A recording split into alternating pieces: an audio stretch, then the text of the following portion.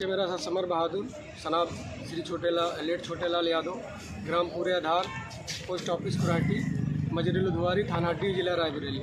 किस पोस्ट पे हैं आप? मैं सर सीआरपीएफ में हूँ कांस्टेबल। अभी फोर्टी एट बटालियन आसाम में पोस्टेड हूँ। क्या समस्या किस समस्या समस्या ये है हैं? सर ज़मीनी विवाद है।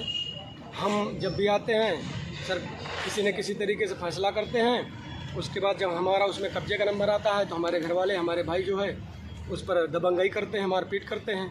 आज भी मारपीट पे उतारू थे।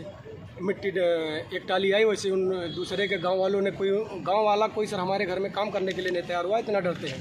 कि मैं दूसरे गाँव से उनको बताया नहीं कि मेरा कोई झगड़ा है। दूसरे सिंधरान द्विवेदी का ट्रैक्टर लेके आया। उनको जब ऐसे ही उन्होंने वो टाली लेके मट्टी डालने की कोशिश की तुरंत यहाँ के उनको बोले तुम इसमें मट्टी नहीं डालना और चाबी उनका ट्रैक्टर से निकाल लिए। फिर मैंने बोला ठीक है कोई बात नहीं है फैसला कर लो। बोले हम फैसला नहीं करेंगे तुमको जो करना है अपना नप लेखपाल बुला के या जो भी कानून को बुला के अपना नपवा लीजिए। मैं कुछ नहीं करूँगा।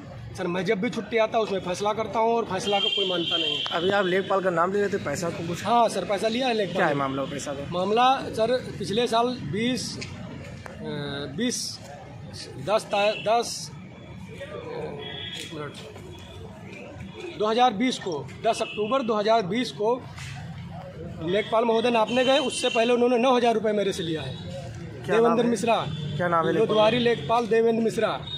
और उसकी सर इंक्वायरी भी हुई उस पर कोई रिपोर्ट किसी ने लगाई बोला ये झूठा ब्लेम लगा रहा। है कहीं शिकायत किया था आपने? हाँ सर शिकायत है ये क्या पत, ये सामने बोलिए एक मिनट ये सर ये प्रार्थना पत्र में लिखा है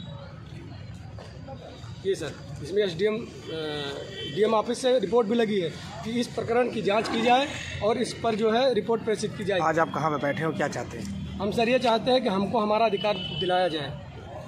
हमें जितना हक है बस वही चाहिए हमको एक्स्ट्रा कुछ नहीं चाहिए जो भी हमारा समझौता हुआ है। नहीं सुनवाई होगी तो क्या करोगे? नहीं सुनवाई होगी तो सर मैं नहीं जाऊँगा।